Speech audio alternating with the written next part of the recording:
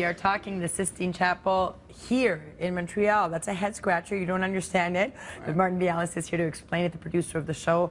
Uh, thank you so much for joining us this morning. Hey, good morning.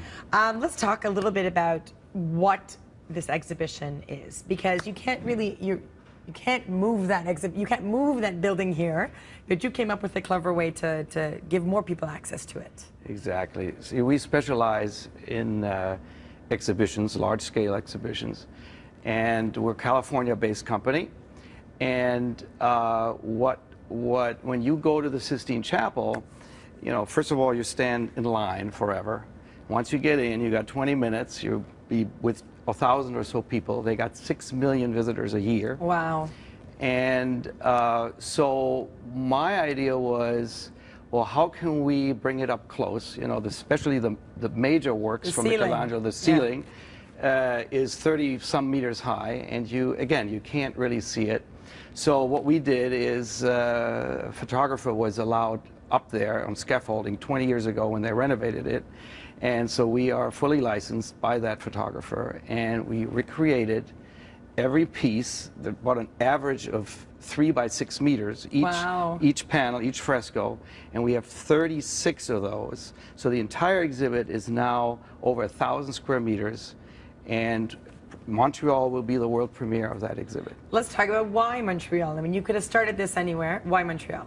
Well, there are two reasons. First of all, I think the demographics are perfect here. Uh, people are very have a big cultural background. Uh, you are one of the major metropolitan cities in the world. I mean, uh, and why not? And I like that reason. You know, and the why other not? right, and the other major reason is um, we have really never been able to bring the big blockbuster exhibits to Montreal because you didn't really have the right space. Okay. And now you do. The Palais de Congrès yeah. has built out a specific space in that convention center for exhibits that's about 1,600 square meters in size.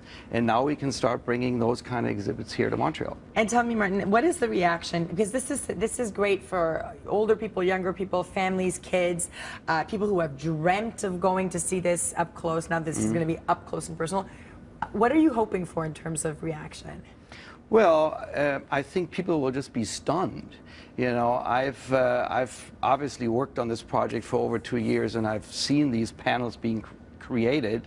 And when you stand in front of that magnificent uh, fresco uh, creation of Adam uh, uh, and see it in that big, stunning size, you're just at awe. Yeah. And uh, I think people will, what I would like people to do is also use this as a, a, a, place for inspiration, tranquility, sanctuary, so kind of get out of the hectic life and enjoy art and music. We will have some beautiful music. I feel like it would be very awe-inspiring and just, as you said, a place of tranquility. Martin Biallas, thank you so much for joining us again. It is happening at the Palais des Congrès. Starting July, opening July Uh, 10, and tickets go on sale this Thursday on the 11th. All right, well, come one, come all. It's going to be breathtaking. Thank you so much for Thank joining us. Thank you so much.